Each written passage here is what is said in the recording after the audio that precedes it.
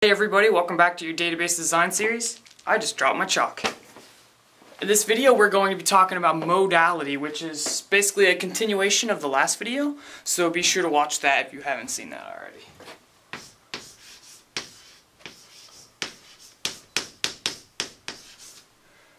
So a lot of these design concepts you've already learned from previous videos in this series, but now I'm talking about the technical terms for drawing them out when we're actually drawing our database because we can think about our database all we want, but it's not really going to be effective until we actually draw it out so we can see how things are worked or connected and then we can program it from there. So yeah, first I like to explain the concepts, then I like to explain design concepts, and then I like to explain uh, actually turning that into a database, which we're not going to be covering much in this video because this is database design.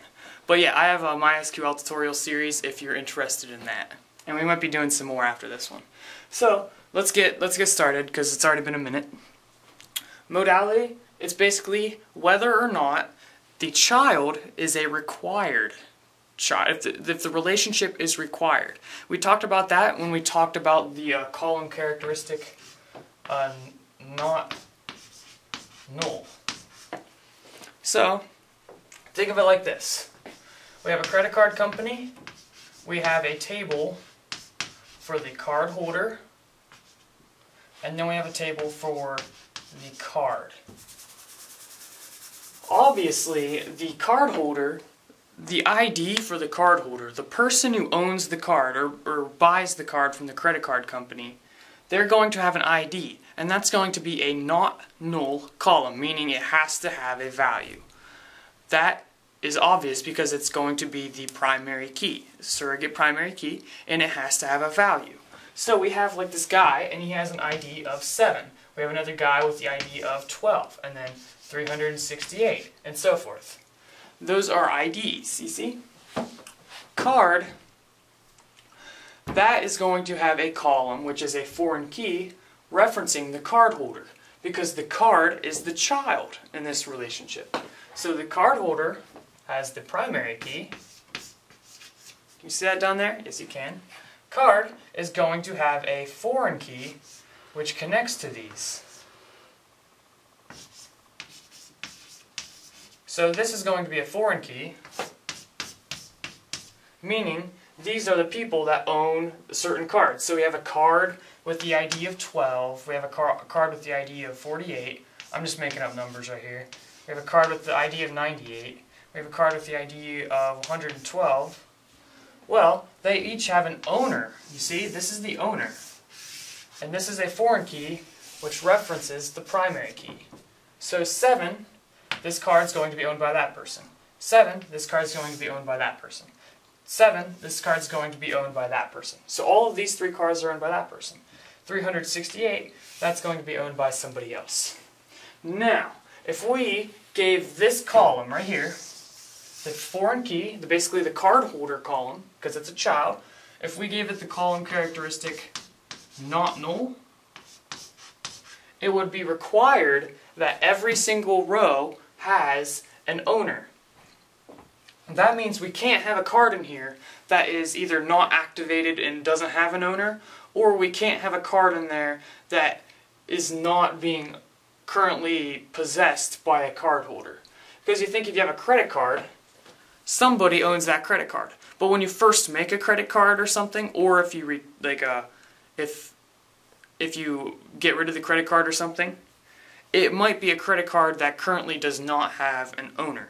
Does that make sense? So basically just a credit card that's not being actively used or is uh, disabled or something like that and does not have a card holder. Well, if we wanted us to, if we wanted this database to be able to store cards that don't have owners, we would not want the not null characteristic because that's going to prevent it. So that's kind of how that works. So if we take that off, then we could have a card down here with the ID of 101 that doesn't have a card owner. Well, I know we, we've already explained this all, but now let's talk about designing. So let's just make this simple. Pay attention to the, uh, we'll say we'll say one card. Well, this obviously is going. We're going to talk about a a one to many relationship. meaning one card holder owns many cards. And we're also going to be talking about a one to one relationship, meaning one card owner owns one card. If we want to do a many to many, uh, we just need an intermediary table. The same concept kind of applies, but uh, we don't necessarily have to go through that. Just break it into a one to many, two, two one to many relationships. All right, so let's try this. So we have, over here we have the table. That's going to be the card owner. Over here we have the table for the cards. And there's a relationship between these two. That's a really big gap, but whatever. So let's start over here.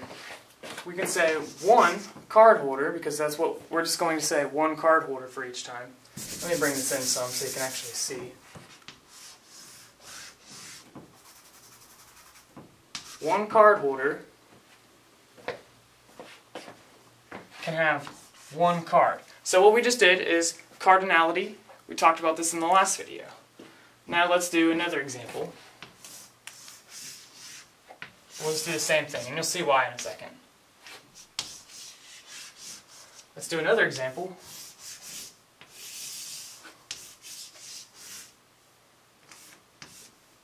And then finally, one more example. Running out of room here.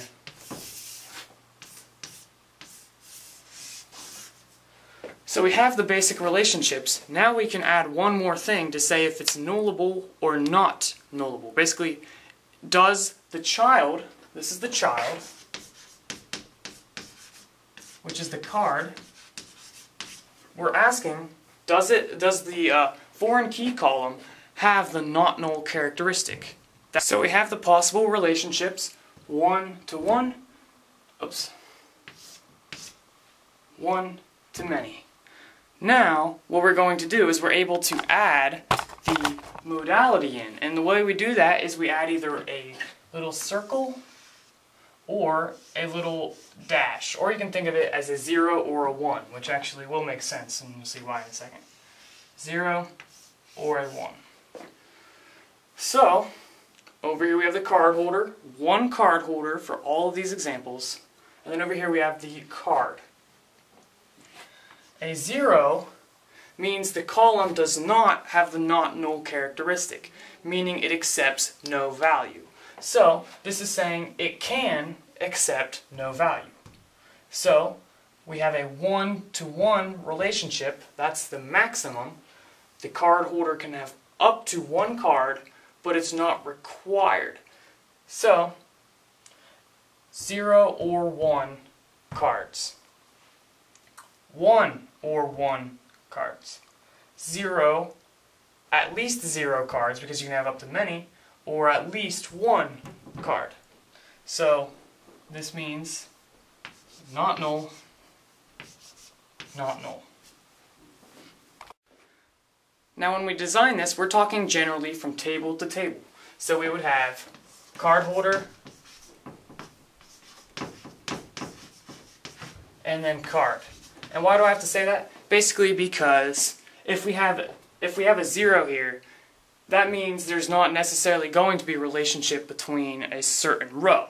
So when we're talking about rows, we might not actually draw a relationship between certain rows. When we draw relationships, we talk from table to table. And those relationships explain what rows can have relationships with different rows. So in this example, Let's just focus on the top one just to make it easier.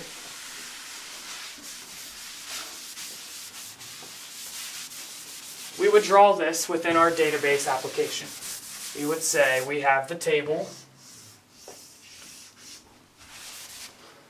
card holder, and then that has some kind of relationship with the table card. Now we could say one card holder can have zero up to one relationships with one individual card. So we have a card holder with the ID of 7, and then we have an ID, a card with the ID of 68, owned by the card holder 7. So that points back, and that's acceptable. We could also have a card uh, we could have a card 69, and we could have a person 8, and we could say, oh, it doesn't have an owner. That's fine. We could have another card 70, and it can have the owner 8, which points back to 8. And then we could have another person, which could be 87, and we could have a card, we could have a card um, 63, which the, has the owner uh, 87. And that points back to the owner 87. So that's how those relationships work. Now, uh, at first these can be kind of confusing, so just practice. Uh, make sure you fully understand how each one works. Just review, we could have, um, here's the four possibilities we could have.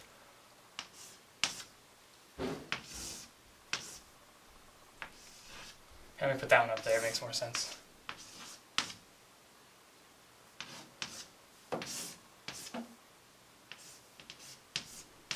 One card holder can have zero or one card. One card holder can have one, only one card, because you can have one the least, and then up to one, and then you have one card holder zero or more, and then one card holder one or more. These two are required, meaning every single child has to have an owner. Or every single card has to have an owner. Every single child has to have a parent. So hopefully that all makes good sense. Uh, if you have any questions, please, please leave me a comment, and I will see you guys in the next video. Peace.